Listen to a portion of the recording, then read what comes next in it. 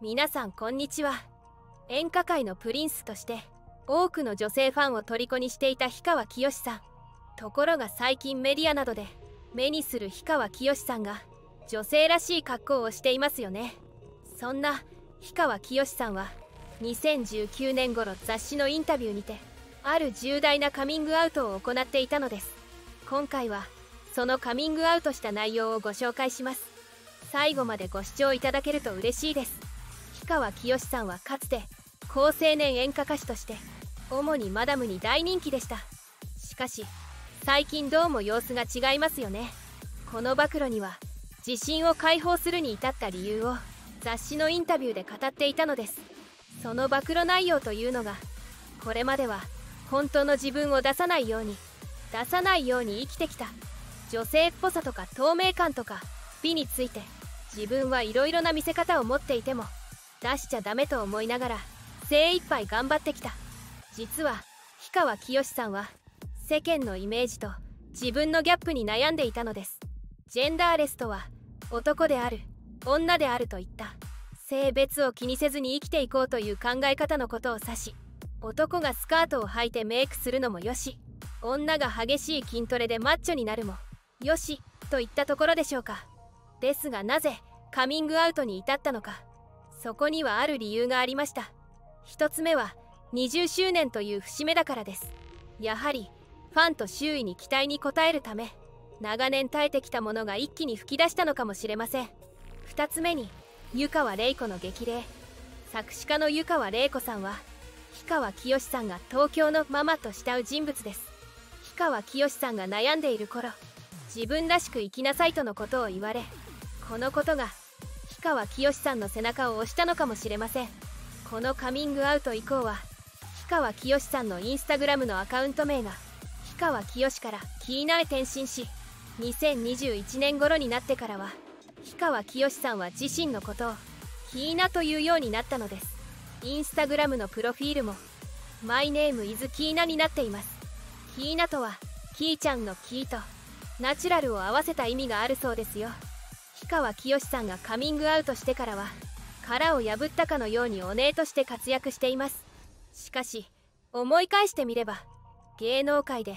イケメンでさらに20年以上も演歌界のスターとして芸能界を生き抜いてきたにもかかわらず女性関係が一切報道されないこと逆に男性との熱愛が報道されたこともありました。氷川きよしさんがスクープされた熱愛報道で一番有名なのが松村雄基さんとの「フライデー」ではないでしょうか。ご存知の方も多いと思います。2010年7月氷川きよしさんと松村雄基さんが楽しそうにデートしているところがスクープされました。写真には氷川きよしさんが松村雄樹さんのお尻のポケットに手を入れながら歩いている様子が映っていました。それだけで熱愛と考えるのは無理があるのでは？と思われる方もいらっしゃるでしょう。男性同士とはいえその場のテンションなどでお尻のポケットに手を入れることはありえますが松村雄樹さんは氷川きよしさんよりも14歳も年上です。14歳も上の先輩になかなかできることではありませんよね。それこそ親密な関係でない限りはまた松村雄樹さんも何も気にされていない様子から普段から距離感が近い交際しているのではと捉えられたみたいです。その後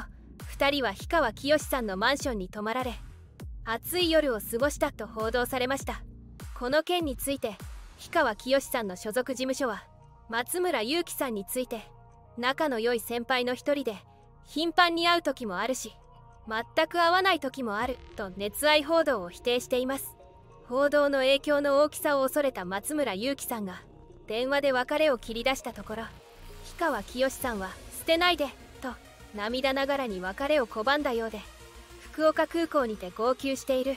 氷川きよしさんの姿が目撃されています。このまま破局したのか松村雄樹さんが思いとどまって交際を続けたのか真相は不明です。しかし2014年にも氷川きよしさんと松村雄樹さんは再び密会をスクープされます。2人は逗子にある氷川きよしさんの別荘で宿泊デートをしていたところを目撃されています。復縁できたのか。あるいはそのまま交際を続けていたみたいですね。今度は氷川きよしさんの自宅マンションではなく別荘というあたりが本気度を感じさせますよね。隠れることで周囲の目を気にすることなく心置きなく関係を深められると考えたのでしょうね。松村祐樹さんの所属事務所は宿泊の事実を認めたものの2人はあくまで友人関係であると報道を否定しています。ちなみに氷川きよしさんと松村祐樹さんは共通の知人である風間徹さんの誕生日パーティーで知り合い意気投合したみたいです。風間徹さんもよく新宿2丁目に顔を出す人でその界隈では有名な人のようです。気になるのは氷川きよしさんと松村祐樹さんのその後ですよね。2人はまだ独身ですから結婚するのではと期待しているファンもいるようですが2人が結婚する可能性はどうやら低いみたいです。2014年の熱愛報道以降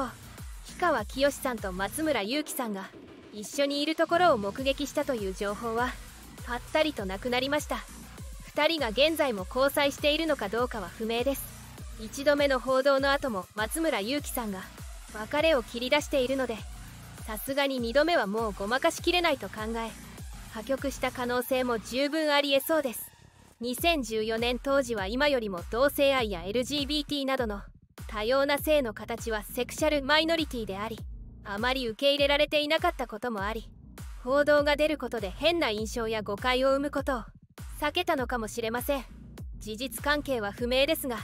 2人のその後の報道が一切出なくなったことは明らかです。そもそも日本では同性婚が認められていませんのでもし本気で結婚を考えているならば同性婚が認められている国で移住する必要があり日本で仕事ができなることを考慮するとやや厳しいようにも感じます。こうした理由から2人の結婚の可能性は低いと言わざるを得ません。